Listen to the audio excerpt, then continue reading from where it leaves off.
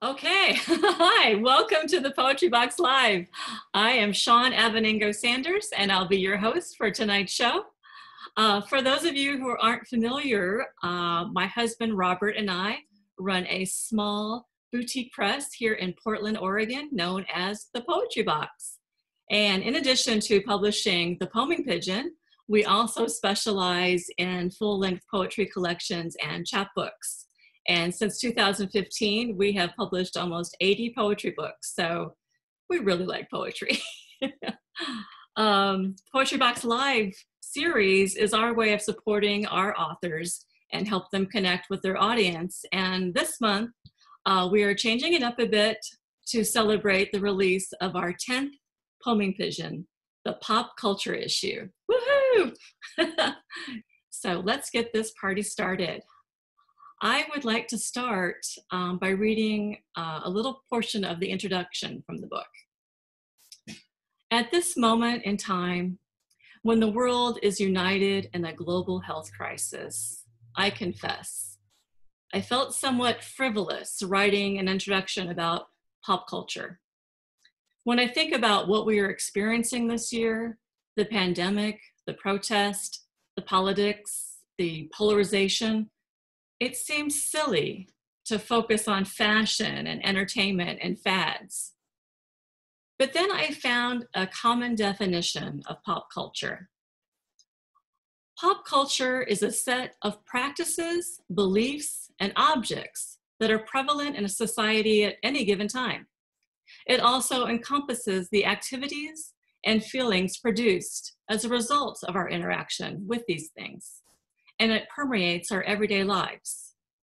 So, in, in that definition, I surmise that perhaps with these seemingly trivial objects or activities, we are able to find common ground, threads of connection based on a collective taste in music, sports teams, television shows, fashion trends, comedy, and silly little objects that have no other purpose than to bring us joy. And so maybe, just maybe, this pop culture poet, book of poetry can do just that. Let's start ushering in the joy. Our first poet tonight is Gilbert Allen, and his poem, Once More, The Sound of Music, can be found on page 15. Take it away, Gilbert. Thank you, Shawn, for hosting us all this evening. Before I read my poem, I'd like to give a shout out to my fellow South Carolinian and friend Linda Ferguson and congratulate her on her pushcart nomination. Once more, the sound of music. Live on tape TV for the holidays. The sets are lavish, large, and multiple. It's like peering into Biltmore House before they started charging folks admission. And Carrie Underwood's more Julie Andrews than, well, Julie Andrews. The seven kids, not only can they sing, but if cuteness is a cancer, everyone is terminal. Von Trapp, dark, gruff, and incorruptible. Strum bumbles his guitar around the shoals of lechery to seem semi convincing as captain, father, lover, patriot. At the convent, Mother Superior's a penguin of color with the voice of God, belting out a multicultural overture to love for her blonde novice. And after that family sing along celebrating Anschluss, as the lucky nine deceive stormtroopers, spirit themselves to church, to footpaths, then to Switzerland.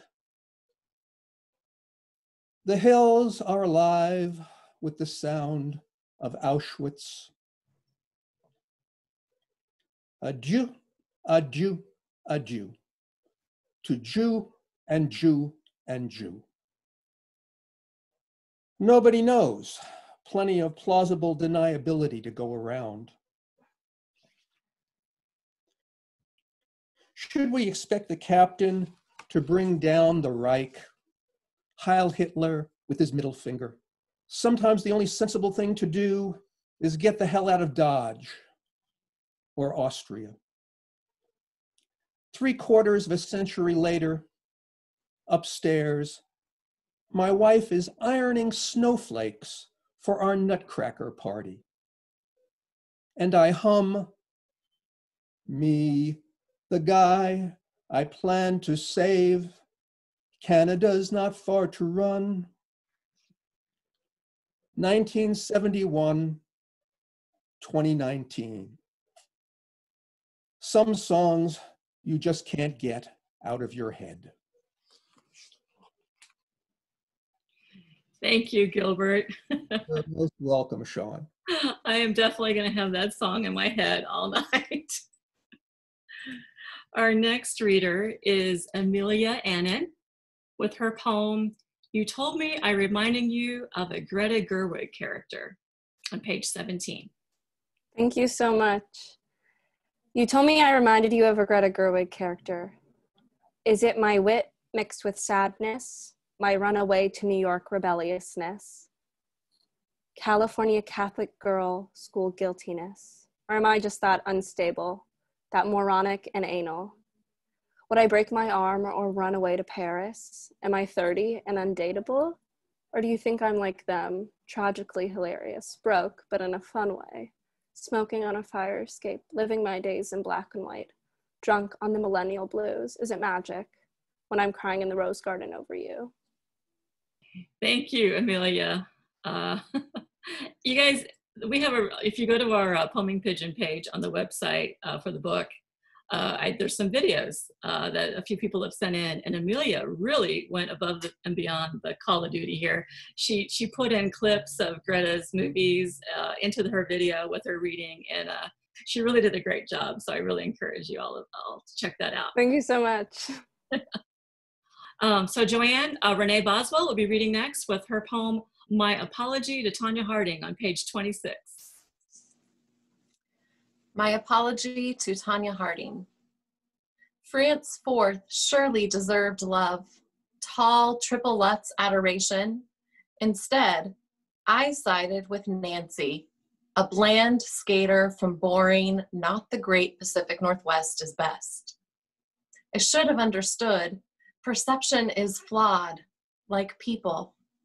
Sure, when Connie Chung death spirals, I'm sucker punched, seeking sweethearts. Good girls don't chop wood. Convinced by infinity replay loop, Judge's binary set is gold. I must choose grace over power. Beauty is not subjective, it is exact conformity in fancy white Biellmann spin leotard. I am so tr- sorry I trusted biases, bought the magazine, devoured the check stand highlights, fell flat on my naive ass. Forgive me, Tonya. I didn't know my privilege was tied on crooked. I never paused media's sit spin long enough to question the score. Patriarchy's thick fingers manipulated my Zamboni free soft brain. I did not know to applaud hand sewn grit, concealer, resilience, knockout individuality. I snuggled you up with OJ, pairs skating through my head, duo of ill intent, guilty, guilty, guilty. My heart beat for Christy, ashamed the notoriety you salcowed into my home state. I didn't even know solid landing triple axel pride belongs to you, Minneapolis and Munich 1991 glory. What hard hitting journalism overpowered your edgy skating superpower, twisting American class drama like laces, delighting when they snap mid routine? You should have been my hero. Butt kicking, bow and arrow badass, record breaking Oregonian goddess.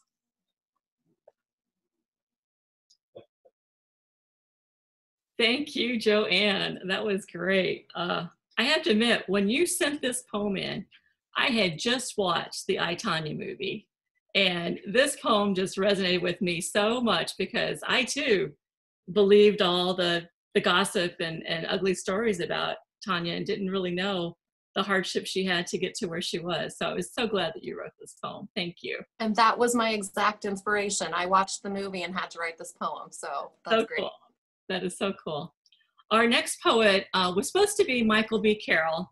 And um, Michael is in nursing school and he's doing his uh, rotations at the hospital and he was called into work today, so he, he won't be able to join us. So next up, we have Dale Champlin with her poem Possession on page 33.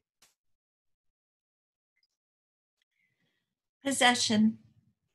I was her first Barbie. She used to carry me everywhere, prop me by her bowl, and feed me chocolate ice cream. She held me in her arms and took me to bed at night. Then she lost one of my shoes. My leg joint got loose. She tattooed her name on my back with a ballpoint pen and nail polished my nipples day glow. After her mom's hair dryer scorched my hair, she cut off the burnt ends. It was not an improvement. I thought I was priceless, but I was replaceable. I can't leave it up to Ken to rescue me. He's preoccupied with his wardrobe. His stone cold eyes never glance in my direction. Once he told me to get a job, but with my tiny hands, I can't hold more than a sliver. I wish you could hear Robert cracking up right now. Thank you, Dale. Uh, you know, I just love your whole collection of Barbie poems, and that what an impact that little doll has had on so many of us, right? That's great. Our uh, our next poet is Margaret Chula, and she'll be reading her poem "More Women Have Done This Than You Can Imagine" on page 34. Please welcome Margaret Chula.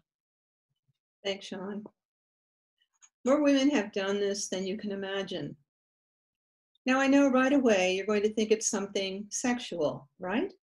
Something like every woman has practiced fellatio with a zucchini, or every woman has tried to have an orgasm under the tub faucet, or every woman has fantasized about doing a strip tease at a General Motors board meeting, but it isn't. The bare fact is that in a nationwide survey conducted by Victoria's Secret, our deepest held secret has been revealed to the world. In 19, 2019, 70% of American women between the age of 14 and 85 admitted to carrying an extra pair of panties in their purse. When Victoria Di Botroni herself interviewed these women in beauty salons, corporations, and truck stops across the country, she asked them why. Their answers were as revealing as Victoria's cleavage, enhanced by her latest creation, Pink Plums in Autumn, a push up bra designed for the mature woman. But it wasn't easy for these women to open up. At first, they demurred, well, you know, or just because or my mother told me I should. But when Victoria offered them a glass or two of wine divine, they began to divulge their secrets. Well, to tell you the honest truth, honey, I just like to be ready for anything. It's kind of like guys carrying a spare condom in their wallets. You know how it is. You go to a bar, sometimes you score, sometimes you don't. So I got me a pair of these here lacy jobs, just in case. Ms. Tony, may I call you Vicky? I must say that in these days of unpredictability, not only in the stock market, but in the real world, when you never know when some godforsaken drunk will smash into you on the highway and land you in the ER, it is reassuring somehow to know that at least you will have a change of lingerie. It all comes down to personal pride. And God knows there's little enough of that around these days. The number of women carrying spare panties was especially high in the Midwest, where there was a distinct possibility that a woman with car trouble might be stranded overnight in sub zero temperatures. I may be frozen stiffer than a Spanx bodysuit, said Mrs. Arthur Stickler, but you can bet our Lord Jesus Christ that I have a pair of panties on when they find me. Victoria pondered on the marketability of their revelations. How to turn a spare panty obsession into some spare change. And then she hit on it. We all know, or at least can imagine, how embarrassing it is to reach into the jumble of our purses for a pen and instead pull out a tampon. Well, if 70% of the American female population is carrying panties in her purse, a similarly embarrassing situation might very well occur. So, to ensure that we don't inadvertently pull out our panties to blot our lipstick with, Victoria has invented a kind of Porto panty, which she calls Spare Essentials. Fashioned out of imported lace, but with a cotton liner, of course, these panties can fold up to the size of a quarter. Imagine a quarter. And they come with a handy plastic holder so the panties stay pristine. You can tuck them into your wallet, ladies, right behind your Visa and MasterCards, and be in charge of your world. Oh, Maggie. That was so much fun to write.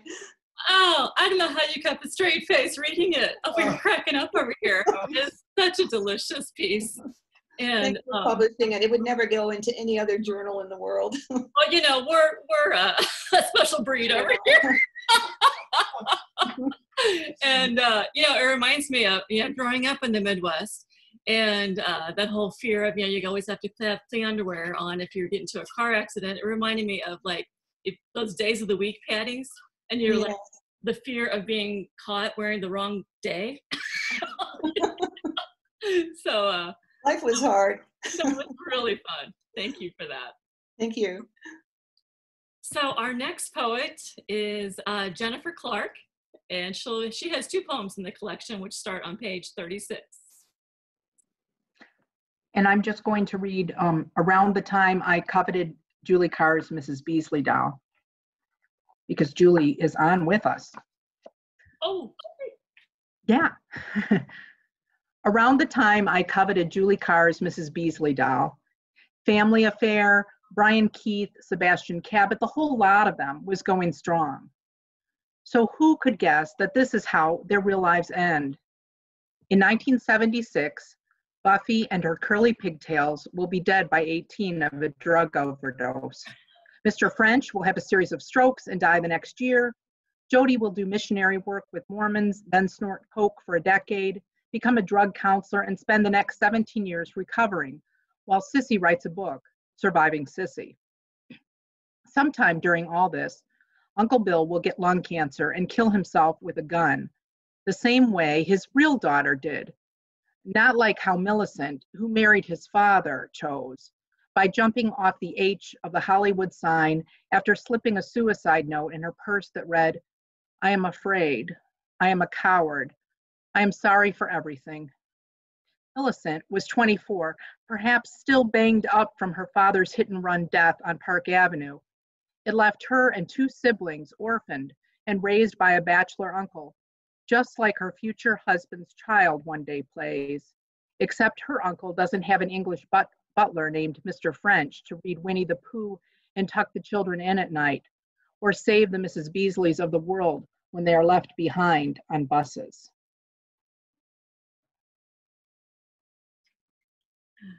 oh, thank you, Jennifer, for sharing that. I don't know if you guys have noticed my lovely uh, display of pop culture items and dolls and things from my uh, my attic. And uh, I was so thrilled that I still have my Mrs. Beasley doll to share with uh, Jennifer and Julie today. So that was awesome. Thank you. Our next uh, poet today is going to be Brittney Corrigan, sharing her poem Nostalgia All Skate on page 39. Thanks so much, Shawn. Nostalgia All Skate. Only seconds into the rink, and I'm already back to Skate City in my elementary scrawn and joy, weaving in and out of all things dangerous and dear. And I might be crushing out on the 40 something guy with the beard and tattoos in his easy push and spin, just as if he were the new boy in fourth grade with the comb in his back pocket and the talent for Pac Man, speed skating to freeze frame and whip it, whip it good.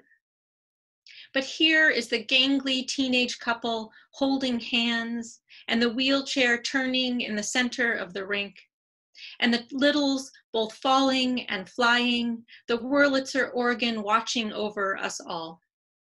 And I am YMCAing my tush off and pretending I'm as fast as roller derby girl who bends low and fierce, zigzagging her legs and winging, or as throwback as the tall black man with the towel around his neck, disco skating his smile around the room.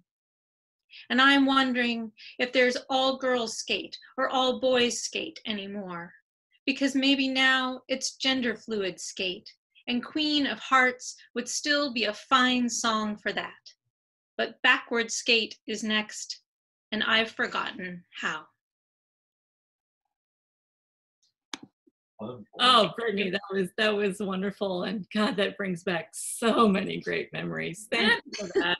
Thank you, Shawn. And uh, I don't think I ever mastered skating backwards very well back then, and I know I could not do it now. Our next uh, poet coming up is Judy Dykstra Brown, reading from Mexico today, and she's got two poems starting on page 44. All right, when I looked at pop culture, it said pop culture can be defined as commercial objects that are produced for mass consumption by non-discriminating consumers. And so that, that um, kind of formed the uh, theme of my poems. The first is to the king of pop culture, Andy Warhol. It's called Canned Cantos.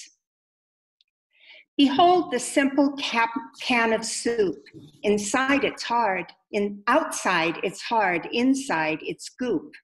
Cream of mushroom, turkey noodle, kids adore the whole caboodle. Craftsmen raise the chicken coop to gather poultry for our soup. They chop up onions, slice potatoes, murder mushrooms, slay tomatoes. Must Warhol then immortalize this canned concoction I despise? The world agreed, he must, he should. They called his canned art very good. Yet this icon that he chose to paint and to overexpose, I could easily view myself lined up on my kitchen shelf why pay a thousand bucks or more for something that each day I pour into a pan and then ingest? I think, friends, that it was a test to see how gullible we are. As we made this elf a star, fanned his fame, increased his rank, he laughed his way right to the bank.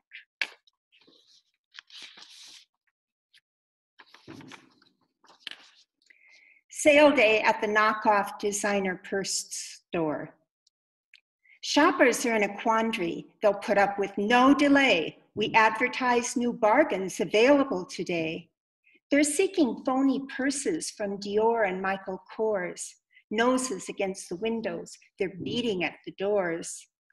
But they've delayed our shipments and we don't know what to do. The faces of the ladies first in line are turning blue. The advertising blitz we did turned out to be foolhardy. Our Chanels are second customs. Our Hermes bags are tardy. We have the fire hoses ready. We'll use them if we must. The lady's love of Fendi has turned into a lust. If purses were religion, they would be the most confessory. There is no other obsession like the one for an accessory. Thank you, Judy. Those were delightful. And I was so glad that you sent us an Andy Warhol poem to, uh, to match our cover. our next poet, oh, I'm so excited about this. Our next poet is Matthew Farr with his poem Antique Emporium on page 46. And I just have to say, Matt, I went to high school with Matt in Eureka, Missouri. We graduated in 1983. And I haven't seen Matt since then. So I'm really excited that he's in this book and I get to see him today. So welcome, Matt. Thanks. Um, the name of this poem is Antique Emporium. The first things are porcelain gas station signs on the porch, unmistakable and recognizable, even for brands dead before I was alive, faded, rusty, enormous, probably expensive. I make a U turn. The door clatters, brass bells on a leather strap against the glass, the smell of dust and old wood and lemony polish. Can you smell with your eyes? I think I do. Greetings to a certain, I'm a friendly, harmless collector enthusiast, not a nut job who needs to be watched. People relax when I say howdy. So many magazines, Elvis and Marilyn covers long since plucked from the piles. The jelly glasses with the Flintstones and Huckleberry Hound don't make me take my hands out of my pockets. But oh my God, is that a Weiler's punch pitcher? We had one of those. There were cups that went with the pitcher, they had handles. My mom would remember. We saved the foil packages until we had enough to send in for a free set. A whole room full of beer cans from the 70s. Why did we collect them? Red, white, and blue Lucky Beer bicentennial cans? A brown beer can featuring a smiling 300 pound woman in a swimsuit with a beauty pageant sash Miss Old Frothing Slosh of 1969. I had hundreds of cans from around the country, and I really don't know how I got started. It was kind of fun, I guess. Maybe some of the dusty cans in this dusty room were mine. A white plastic replica of the rocket our astronauts rode to the moon. It's got the launch pad, too. That must be rare. I remember a lot of them broke. Not that I ever had one of my own. The older boys had them. We played with them in the grass in Joe's front yard. Now they're old, brittle, kept in the glass case for examination only by serious collectors. There was a girl on my street who was so pretty. She wore bell bottom jeans with really big bells. Her mom sewed an extra fabric to make the bells bigger. She had a yellow Panasonic AM radio in the shape of a hoop, just like the one on that shelf. She was nice. She used to talk to me. My granddad had a jukebox like that one. His was in better condition. He filled it with 45s from the 50s to please his sons. His music was a decade older, recorded on 78s. There's a stack of them too, but too old for today's memory hunters. I don't know who collects seamed stockings from the World War II era, but if I could find her, I would heartily approve. She would like my enthusiasm, I bet. Vinyl records have made a remarkable comeback, but no one needs another copy of Herb Alpert, Whipped Cream, and Other Delights. The girl on the cover was born in 1935, older than my dad. Still makes me smile. Store cat looks directly at me, sparkly green eyes. Back to napping. There's a downstairs too? Stairs are creaky, weird old dental chairs, more stacks of records, marching bands, and Johnny Mathis. There was a time when simply recording an everyday event was a novelty. Old electric fans with brass blades. The people who bought them knew weren't so different than us, right? They had electricity. Comic books. There's a copy of Thor 337, first appearance of Beta Ray Bill.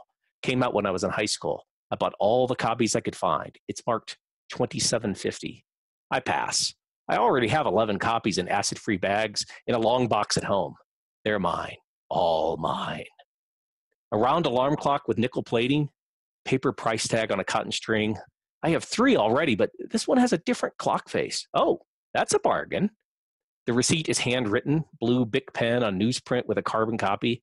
Some things never change. Yes, I want a sack. On the way out, I see a Budman cast aluminum sign. I didn't see that earlier. Hmm. Oh, thank you, Matt. That was so much fun. I grew up being dragged around to so many antique flea markets and antique stores. Uh, so this really brought back a, one, a lot of really great memories. So thank you so much for that. And it's really great to see you again. Thanks. Thanks. Great to be a part of this. Really neat. Our next poet is uh, Linda Ferguson, and she's going to be sharing her Pushcart nominated poem, An Annotated Facebook Acrostic, on page 50. Thanks, Shawn. I wrote this piece in two voices a public social media type voice and a private voice. Feverishly photographing beautiful food and flowers.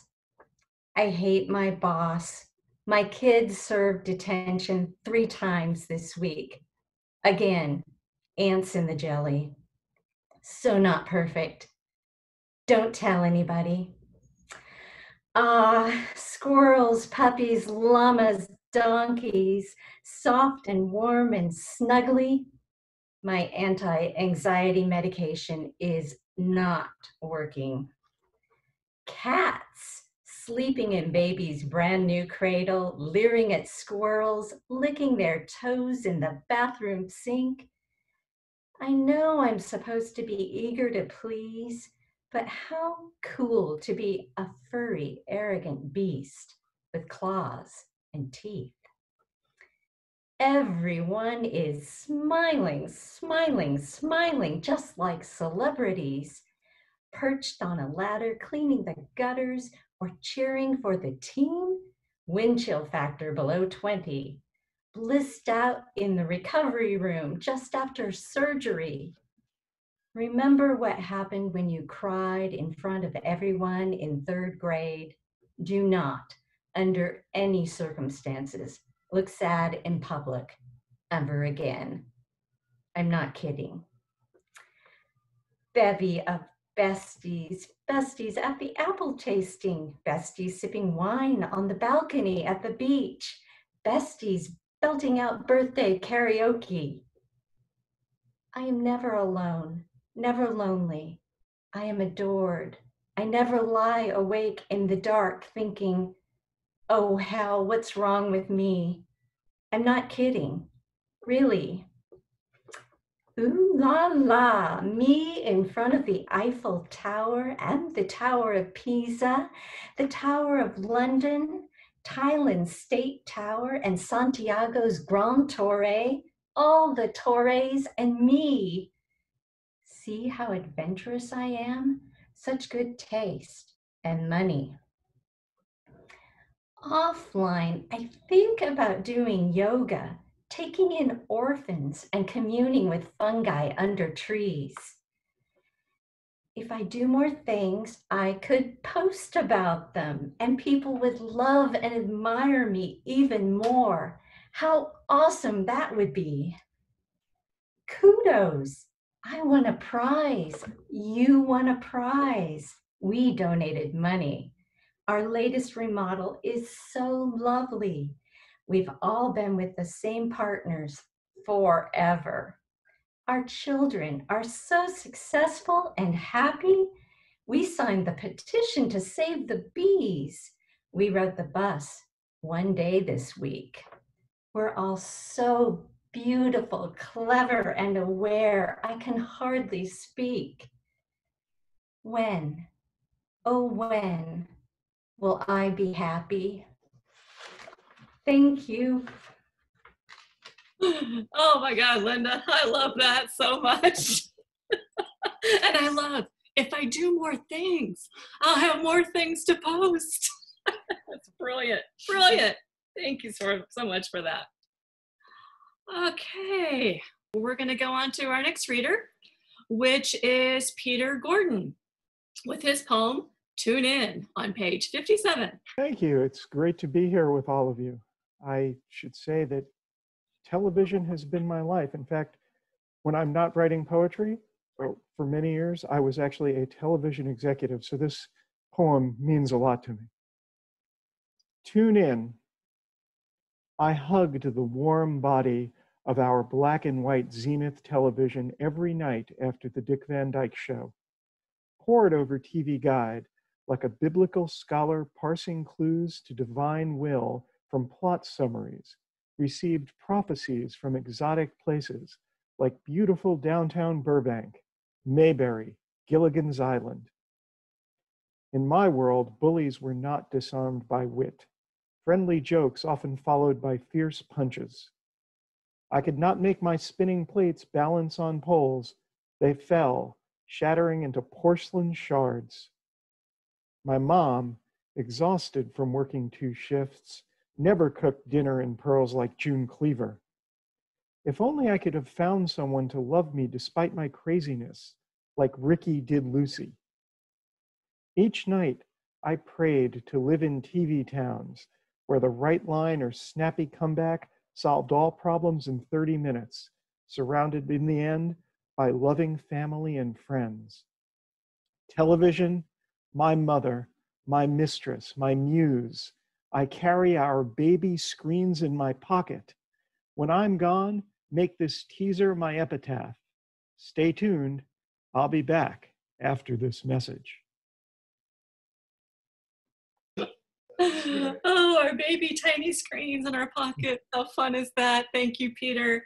Oh, You know, thank you. uh, the last line of your poem reminds me of um, I saw uh, on the Tonight Show an interview with Marlon Brando, and he said that he wanted his tombstone to say, "What the hell was that all about?" I think I think you just one upped him. I like your stay tuned. I'll be right back after this message. So that was really fun. Thank you. Okay, our next poet is uh, Debbie Hall with her poem "Dear Siri" on page fifty-eight. Um, from June Cleaver to Siri. I, I, I don't know what possessed me a few years ago. I always got annoyed by Siri when she would pop up, and I really didn't want to talk to her. So I decided to ask her a set of questions, and, and this is the transcript of that conversation. Dear Siri, Siri, what place are you from? Here's what I found on the web for a definition of place. No, I mean, where do you live, Siri? Right here. Where is here? Here on 3447 Via Loma Vista, Escondido, California. Siri, do you like technology? I'd rather not say. Do you like nature? I really have no opinion. What's your favorite flavor of ice cream? Your interest flatters me, but is there something I can do for you? Siri, what is a landscape? Here's what I found on the web for a definition of landscape. What is the meaning of community? From the six definitions of community, the first one is a group of people living in a particular local area. How do I find my place in the world? Let me look. Here's what I found on the web for how do I find my place in the world. Siri, is technology good or bad? Hmm. Let me think. Here's what I found for that. What are you made of, Siri? I have a phoenix feather core. What is a phoenix feather core? The web says phoenix feathers are feathers shed by phoenixes primarily gathered and used in wand making. Siri, can you do magic? If you like magic, then so do I. Where do you get your intelligence, Siri? Who, me? Yes, you. This is about you, not me. Are you an intelligent personal assistant? I'm sorry, I'm afraid I can't answer that. Why not? I don't know. Frankly, I've wondered that myself. Siri, who do you want to be the next president? I have everything I need already. How old are you, Siri? Does this concern you? Yes, for research purposes. That's what I figured. Well, then, how old are you? I'm old enough to be your assistant. But, Siri, where are you from originally? Like it says on the box, I was designed by Apple in California. Well, when were you born? My incept date was October 4th, 2011. You were recently given a Humanity Award. Where was that? Is that so? Didn't you know? Who? Me? Thank you. uh, thank you, Debbie. Uh, you know, it's funny. I was going to write a Siri poem for this uh, book, and when I got yours, I was like, "Up, done. She's got it." I, I am constantly, always, accidentally invoking Robert's phone, uh, the Siri on his phone, not my phone, but on his phone, and uh, I'm always having to tell that bitch just to shut up. exactly. So our next poet is going to be Linda Kraus in Praise of Kitsch on page 74. Okay. Thank you so much, Shawn. And the one thing I want to say is the incident which starts the poem really happened. In Praise of Kitsch, in Ecuador, many years ago, a driver's dashboard totem, a bobbing Blessed Mother, was imprisoned somewhere between aesthetics and blasphemy. As he drove the tortuous curves of the serpentine Andean roads, he signaled to oncoming cars by crossing two raw wires. When his headlights turned on, Mary's nipples glowed rosy red. Enormous fuzzy dice swinging wildly from a car's mirror, trendy black lava lamps twinkling and bubbling, their grotesque luminescence, a collection of troll dolls, each a hideous perfection of pink polished plastic, babies, excuse me, Barbies posturing, prancing with their absurd anatomy, pink flamingos proudly standing motionless in a row, even a full-figured, fleshy Elvis forever playing his guitar within the tactile lushness of a black velvet painting does not present kitsch's vulgarity as memorably as those red orbs. Thank you. Thank you, Linda. And has anybody else noticed that among this new younger generation, kitsch is now hip? Cracks me up. Yeah.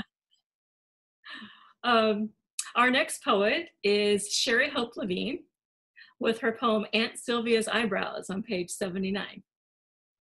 Thank you, Shawn. This has been a lot of fun. Aunt Sylvia's eyebrows. I wish I could tingle like a spin the bottle kiss, have seven minutes of heaven in the closet with Charlie or Jim. Should I speak French when I should I speak French when I French kiss them? I wish I had my sister's big boobs, her lime green string bikini, the blonde highlights she makes from squeezing lemons into her ash brown hair. I watch her flip Farrah Fawcett feathers in the mirror using my banana comb. If she tell me what she does with the boys in their cars, it would only be fair. I lie in bed and think about my visit to Aunt Sylvia's. We stood by her bedroom window and watched a gray squirrel chase another squirrel across the yard, its big eyes wide, ears pricked. Mamala, Aunt Sylvia said, squeezing my shoulder. Boys won't want you if you're too easy. Her dark eyebrows scrunched up like a woolly bear. Thank you, Sherri. And uh, there's those squirrels again popping up in your poems. if anybody knows Sherri, she has a thing about squirrels. So I love that. Our uh, next poet is going to be Sue Fagalde Lick with her poem Sacrilege on page 80. Hi, thank you. This is so fun. Sacrilege. Back before white bread was a sin, when french fries were a vegetable, and chili put hair on your chest, it was good to eat steak dripping, dripping with fat, to cover it with ketchup, pepper, and salt, to breakfast on pancakes big as a plate, slathered in syrup and real butter, with bacon and hash browns on the side. My mother sent us off to school with thick bologna sandwiches, bags of barbecue potato chips, hostess cupcakes with chocolate frosting, a nickel to buy a pint of milk.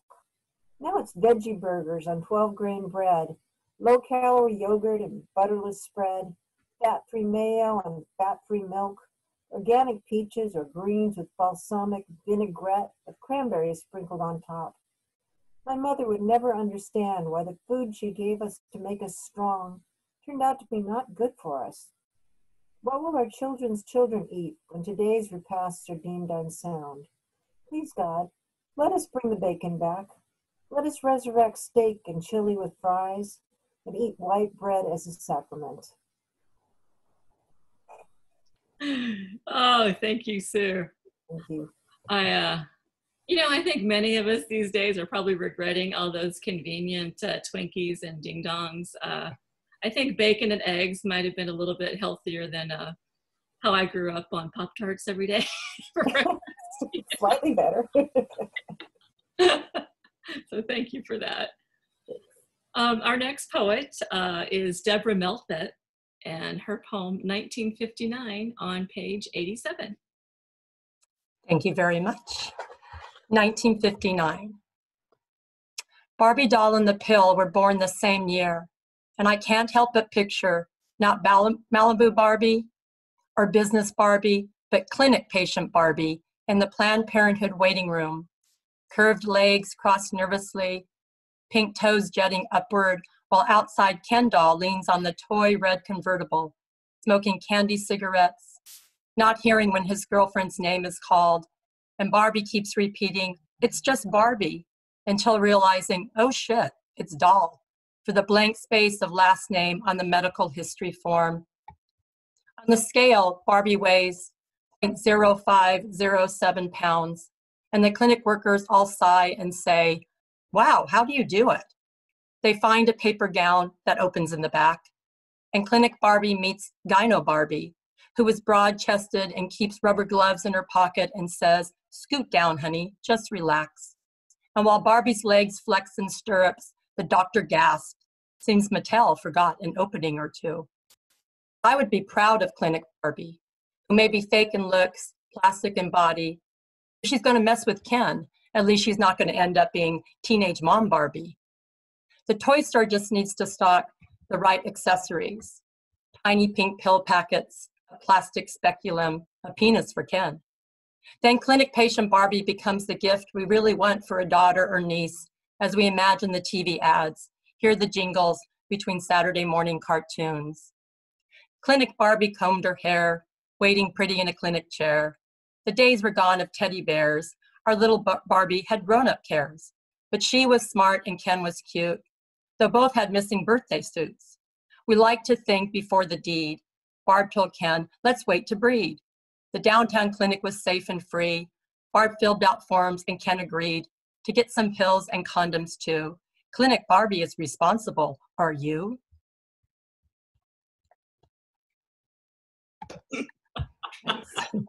oh man thank you deborah i i so love that poem and uh, such a great twist on barbie and um, by the way um, that poem is actually going to be in deborah's forthcoming chapbook called Building a Woman, and we just released it for pre-order. It'll be coming out at the beginning of February. So I put the link up in the chat if anybody's interested in uh, ordering that. It's really fun. okay, our next poet is Karla Linn Merrifield, and uh, she's uh, going to read her poem Sonnet from the Bar on page 89. Thank you, Shawn. Nice to see you and be with everyone. Sonnet from the Bar. In the Church of the Golden Lion Pub, we tipplers of Hogshead and Guinness, we supplicants of rock and roll music, make a joyful noise unto the spirit of guitars electric. We sway to the bluesy riffs, throb to the reverb and loop, tremble like tremolo strings. Our souls fiercely plucked, our hearts softly fingered. For here live again the lesser gods of distant youth. O Clapton, O Santana, O Richards, O Waters. As the Stratocaster, Telecaster, and Gibson gently weep, my wit litany goes long and on into rhythm's font of time. I'm the 60s love child I once was, re amplified, praying that the mythified chords within abide. Thank you. Thank you, Karla. You know, Karla's been with us from the start of the Poeming Pigeon. And uh, but this is the first time she's been able to join us for launch because of Zoom. So I'm so glad glad you're here today, and and all the people that have been joining us that aren't you know, our normal Oregon crew. Uh, this has been really, really fun to do this on Zoom and get to meet all of you. So thanks for joining us today. Our next uh, poet is Sharon Lask Munson, and she has two poems that'll be starting on page 93. This has been lovely, Shawn. Thank you so much. I'll start with Navigating Woman. Love her, hate her. She's polite, but formal when giving directions. Takes us through Paris, north to the harbor of Honfleur, south to forgotten alleys of Sarlat, and ancient castles of Castelnau and Bayeux, east to the heart of Burgundy. She corrects our mistakes, repeats and repeats. Turn right. Please turn right in 300 meters onto the D113. Now, turn right. She's a trace unpleasant when we get it wrong. Her voice programmed to show a hint of vexation, annoyance in her vowels, consonants amplified, friction turned up. Mm. She says to make a U turn. She says to make a U turn, and we recognize the tone of trouble. It's the roundabouts we're in, of course. Take the third exit at the roundabout. Exit now. Recalculating. Please make a U turn. She's blind to dead ends. Doesn't recognize hazards. Has us all in tall hedgerows and along mountainous goat paths. She's in charge, Mm. calling the shots. Mm.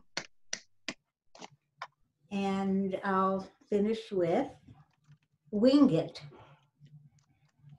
Mary Lou emails. Tells me she will forward my new poem to her mother in Maine. Click.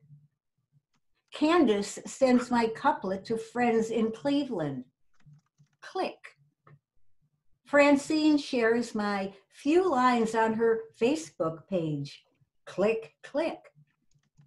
I envision poems stored in iCloud having lives of their own.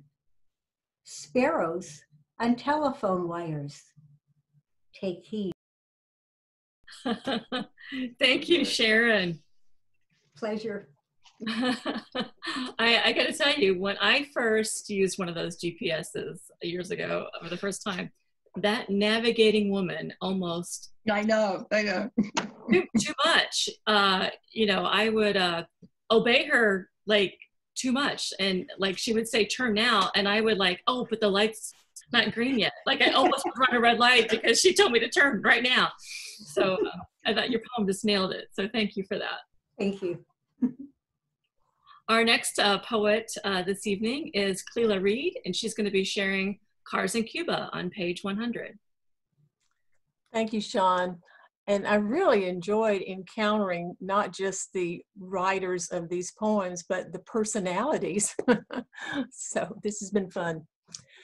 Cars in Cuba.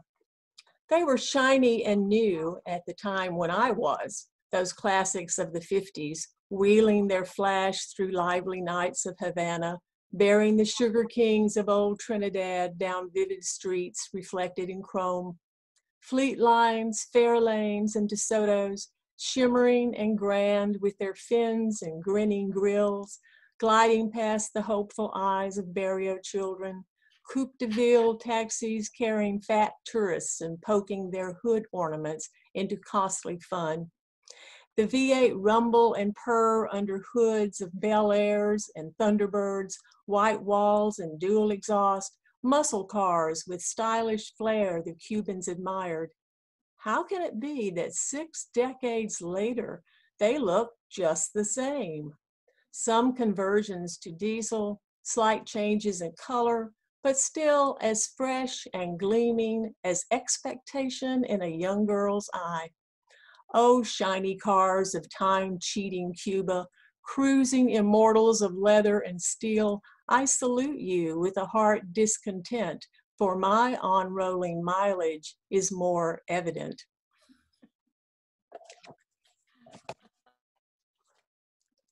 Thank you. Thank you, Cleela. That was wonderful. I, you know, I'm so glad you wrote this poem because I really couldn't imagine having a pop culture collection of poetry without having a nod to those beautiful cars. So thank you so much for that. Well done.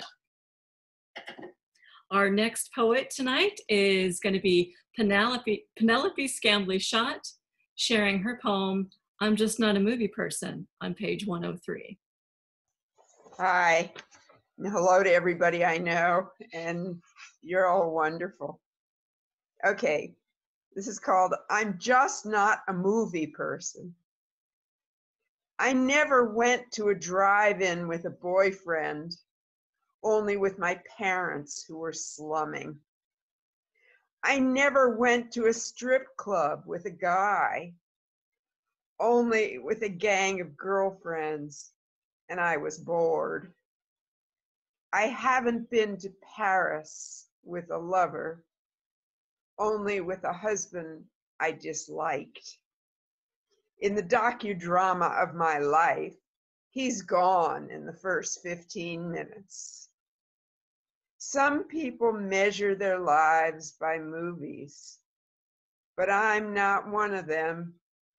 I gag at the reek of popcorn and can't sit still in the dark. Whatever happens on a screen, if I can't touch it, I don't believe it. I think maybe I'm blind until I file out of the cinema to where treetops tremble against the wide screen of the sky. Then the music comes up and the credits parents, kids, first husband, next poem. Even the childhood cat, my sister named Katie, after Esther Williams in Dangerous When Wet. Thank you. oh, thank you, Penelope. You never disappoint. And uh, I have to ask you, with all the sheltering in place, have you watched any good movies on Netflix? Nope. I love you. You're the best. But I do think your life would make a great movie. I really do. no, all I do is climb Dufur Hill. okay. Our next poet is going to be uh, Judith Terzi with her poem Promo on page 111. Promo. I sit down in quasi candlelight chic. Cucumbers float in pitchers of ice water. The rep hands me a piece of jagged tourmaline. She grades my skin, smears Estee Lauder's lifting serum onto my face, neck, décolleté. She finds my eyes puffy. That's N'Dour, I say, not Dior, Youssou N'Dour from Dakar. He sang at the Greek last night. I sip cucumber water. The rep pats on grape and mulberry extracts, vanilla bean. This skin is not the skin I had at the Greek on a high school double date night when the sleek Belafonte sang his tight orange calypso shirt barely visible from the scholarship section. No dancing that night, just skin aglow. The rep's pushing a $450 gem, a creme de la creme de la creme. She massages over half a century's que sera, sera face. She's no liar, but my skin has no amnesiac power. There will be no last hurrah. I sip cucumber water, massage the jagged tourmaline. Esther Mentzer worked hard to build her Estee Lauder empire, but I will make no leap of faith. The rep is relentless, now pushing a $260 cream. I love the ginseng, reishi mushroom, wolfberry thing, but I will not succumb. I am now at the counter under fluorescence, eye contact with the rep after 45 minutes of whim in a back room of a department store. I hand over the jagged tourmaline. I buy a soft violet lip gloss. Thank you, Shawn. This was a wonderful evening. Thank you, Judith. Uh, that was that was really great, and I'm really glad you didn't come to that wolfberry thing and just bought the lip gloss. That was very smart of you. okay, our next poet is going to be uh, Lauren Tivey, and she has two poems that will be starting on page 114. Hi, everybody. It's nice to see you all. And Robert and Shawn, thank you so much for doing this. It's been great. You guys are all funny as hell. um, I'm just going to read one. I'm going to do Gen X Primer. It's an Abecedarian prose poem. After you boomer, after the, sorry, let me start over. After the boomers come you busters with your breakfast club angst, your wailing in gymnasiums like Cobain, your tattooed cheerleaders, your mosh pits of Doc Martens, crowd surfing, seeking ecstasy, coke, shrooms, you flannel clad oddballs, first screen addicts, first gamers with your Atari Pong blipping, hopeless and mesmerizing, your televisions flickering with the fall of the wall, rocket explosions, AIDS, OJ's glove, moonwalking MJ.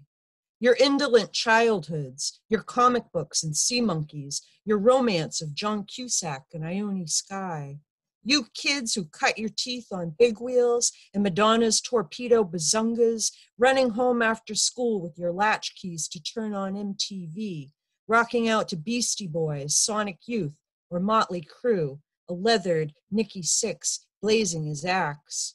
Or you Mallrat girls, hair teased high, trailing clouds of love's baby soft.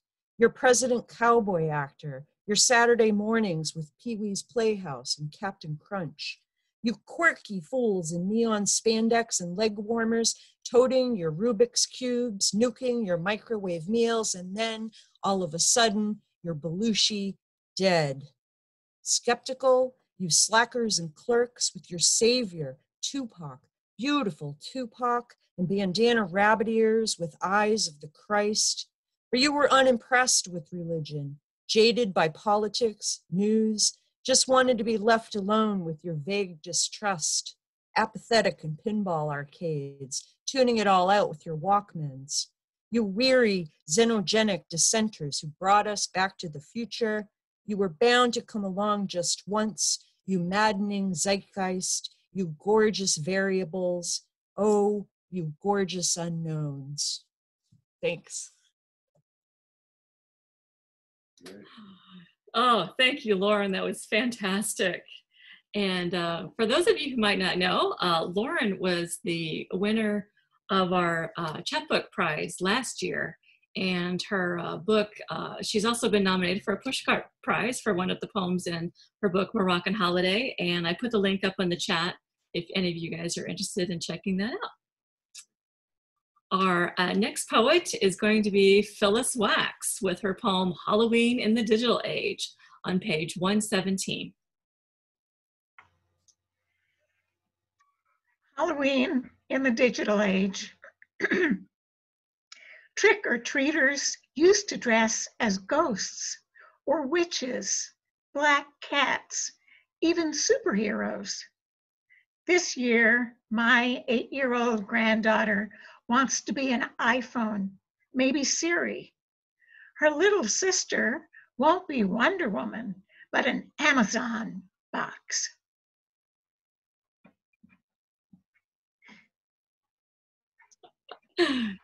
Thank you, Phyllis. Anybody who knows me knows how much I love Halloween and I love checking out the kids' costumes every year. And so I think next year when we actually get to have trick or treating again, I think we're going to see some of those Amazon box costumes. What do you think? yeah. Our next poet is going to be Stephen Whitney with his poem Without Looking Up From My Phone on page 118.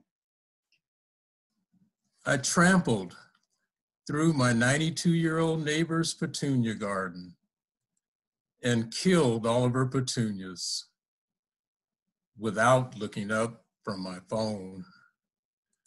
I tuned up my 88 Ford Tempo and drove to the casino to play the big win slot machine so I could win enough money to replant her petunias and throw in some roses, lilacs, tulips, lilies, and maybe even some magnolias for good measure without looking up from my phone. When I got to the casino to make sure I had enough energy to play big win for at least seven hours straight, I went to the casino's all you can eat epic buffet and ate three plates of meatloaf and onion rings, two plates of spaghetti and meatballs, and two more plates of tater tots, waffles, and macaroni without cheese. Then for dessert, I followed it with three slices of apple pie, two slices of cheesecake, and a heaping bowl of Neapolitan ice cream without looking up from my phone. After washing down my meal with two carafes of the casino's cheap house wine made from cheap grapes picked by cheap labor, I waddled to the big win slot machine without looking up from my phone. After six hours and 59 minutes of spinning Big Win's wheel, and at least 55 times coming in within one token spin of winning a million dollars, but not winning enough to pay off my 10 student loans, my six months of back child support payments, or my 65 parking ticket fees. I turned around to see a man sitting at a blackjack table get so mad from losing that he jumped out of his seat knocked over a pile of cigarette butts filling the leprechaun shaped ashtray, pulled out a gun, and shot at every blackjack dealer in sight. So I ran for the exit without looking up from my phone. In the parking lot, I ran into a Black Lives Matter protest.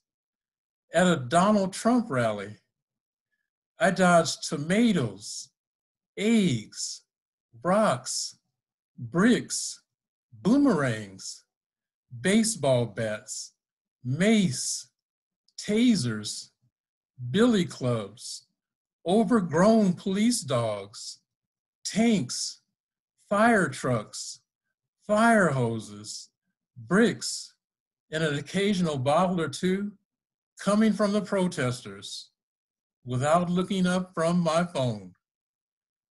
Hello, my name is Philip, and I'm a smartphoneaholic. The crowd at the Smartphoneaholics Anonymous meeting stood up and applauded without looking up from their phones.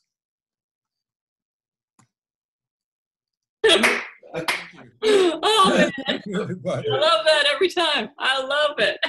Stephen, that is. I enjoyed reading that. Really, thank you very much. Stephen, I um, I really think that that would be a great poem for a PSA. For you know how they have those signs that say you know tell you to look up from your phone before you cross the street. and All these silly. All right. Yeah. I think you can send in your poem for that. Thank you. Okay, well, we have made it to our last poet of the night, and we have John Catfish, I'm going to butcher this, Wojowicz, and his poem Back on the Grid on page 122. Thank you. Back on the grid. When the court decided he was human enough to stand trial, the National Resource Defense Council took his case pro bono. They bought him a suit from Men's Wearhouse, trimmed his whiskers, slicked back his hair until he resembled Beast from the X Men comics of his youth. Bigfoot testified how his father was billed as Monkey Man, Darwin's missing link in a traveling freak show, along with his bearded mother, dubbed Lady Lionface. He described receiving beatings when he struggled learning to juggle, how he escaped into the forest, shunning what they considered an honest living. He pled the fifth to all charges, including thefts of countless chickens and livestock, claiming a diet of mostly high, br- high brush blueberries and ringneck pheasants. All the jury could find him guilty of was trespassing due to questionable eyewitness accounts and lack of clear video evidence. Bigfoot completed 80 hours of community service, conducting scared straight seminars with local runaways before reveling in his newfound societal acceptance. He reunited with his parents on Oprah, dated a Victoria's Secret model turned on by his rugged looks, and did ads for LL Bean, Patagonia, and REI. However, going from occasional National Enquirer cameos to the front page of the New York Times had put him back on display for a living. The woods beckoned. He turned down the role of Chewbacca in a new Star Wars film and bought 20 acres in the Catskills with cabin and private lake, spending days fishing off a little Coleman crawdad with two-stroke Mercury motor, retiring at sunset to meditate among the shadows of tranquil trees. Thanks. Thank you, John. Uh, I love your portrayal of Bigfoot. This that was just fantastic. Very creative. And it looks like we made it through the whole list. Can you believe it? Oh my God. Here's a big round of applause for all of you. Yay! I just have a few announcements. Um, I'm going to put the link up again for anybody who's interested in ordering the book who doesn't have it. So there's that. And uh, thank you to all of our fantastic poets tonight. And thank you all for joining us in our special Poeming Pigeon edition of Poetry Box Live. Uh, as poets and authors have been impacted by the closure of bookstores and reading venues across the country, it just means the world to us that you joined us here on Zoom to celebrate poetry. And by the way, we've started posting uh, videos of these shows on our YouTube channel. And I'm also putting it on our events page on the website. So this morning I posted the videos for the uh, September and the October shows on the website so you can check that out on the poetrybox.com. And to kick off uh, 2021, and does that sound good to say 2021? Yes.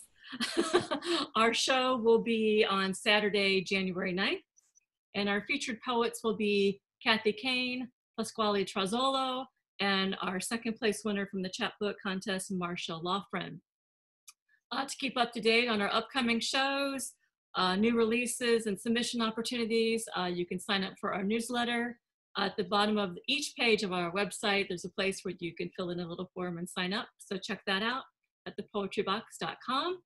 Thanks again for joining us. I'm going to unmute everyone now so you can chat and cheer and have a lot of fun. Thanks for joining us. Thank you, Shawn. Thank you. Thank you. Wonderful. Thanks. It was great. Yeah, Thank you. you're all delightful. Thank you. Great.